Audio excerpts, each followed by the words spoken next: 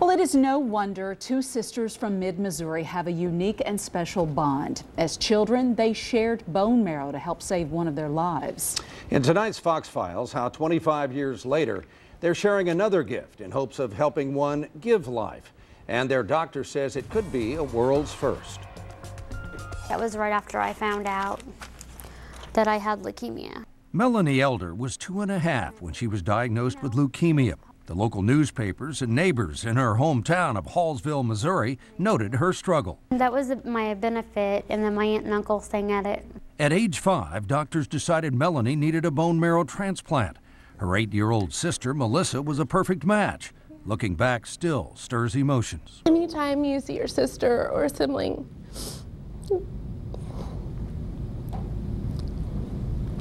go through such a horrible illness. It's, it's really sad.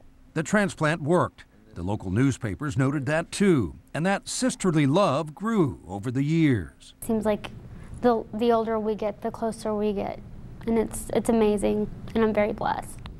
It was such a blessing that, that it ended up the way that it did.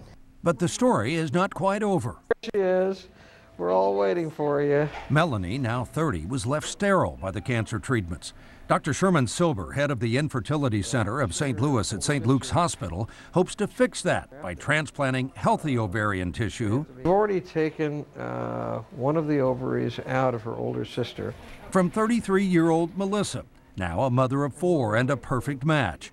Melanie approached her after finding Dr. Silber on the web. And I'm like, great, this is wonderful. You know, I'm, you know, she needs, you know, every family should be blessed with, with a child of their own. It's such a good ovary, we'll, we'll be freezing even more than half of it because there's so much tissue there, which is just wonderful, a lot of eggs. The excess ovarian tissue is frozen and preserved in liquid nitrogen, available if Melanie should need a future transplant. That way we keep a young ovary. You know, I mean, it's, it's not going to be getting older as you get older. It'll still be, you know, 33-year-old uh, ovaries. Dr. Silber has done ovarian transplants between identical twins that produced babies.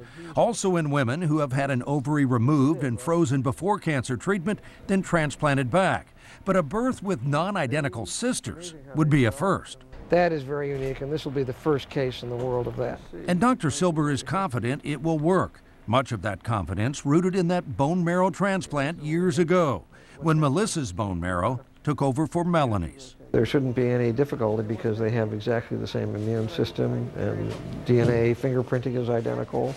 The two-hour operation went well. Let me get a hug here. Now Dr. Silber delivers the good news to Melanie's mom and dad and husband Josh, who's seated. Looks, uh, everything looks great. We're very, very happy and very excited about it. I'd be shocked if she's not ovulating in four months. That doesn't guarantee pregnancy. But uh, she should have the same chance of pregnancy that uh, anybody else would have, uh, you know, at 33, because it is a 33-year-old ovary. That's enough for the sisters, who beat the odds once and have high hopes. Just to be the best aunt I can be. I'm just excited for the future.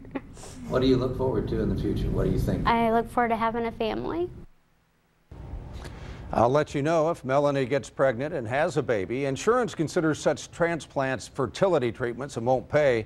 Dr. Silber argues that they should be covered as part of the woman's cancer therapy. So he and St. Luke's will cover the 6,000 to $8,000 cost. This story continues on fox2now.com with more on Dr. Silber's comments on the insurance controversy. Okay, we want you to come back with great news about Melanie and that she is pregnant. That well, is incredible. That would be uh, great news. These sisters, of course, have got that strong bond mm -hmm. forged through what all they've mm -hmm. been through. And, and Melanie told me, she said, you know, she has looked into ado adoption and knows mm -hmm. that is an option, yeah. but wanted to try this first to see if she could make it work. So what we'll a see. bond. That, yeah. is, that is an amazing yeah. bond.